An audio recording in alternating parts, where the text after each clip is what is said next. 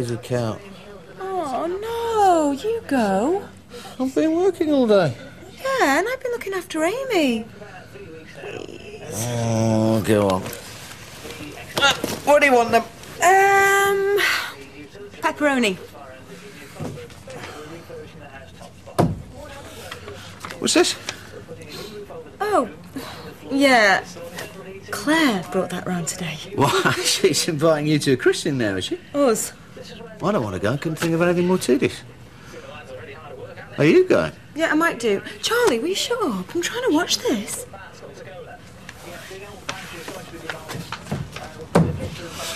You know, I reckon that Claire Peacock's a bad influence on you. Yeah, and I love have coleslaw and a large coconut.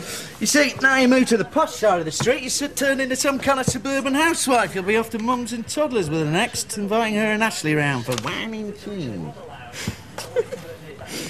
Charlie, I'm not going to turn into a suburban housewife because we're not married. And that was not my clumsy attempt at a proposal. Yeah, well, good, because I'd have to turn you down if you did.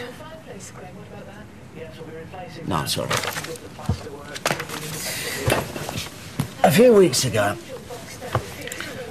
you would rather have stuck pins in your eyes than go to Claire's brats at Christmas.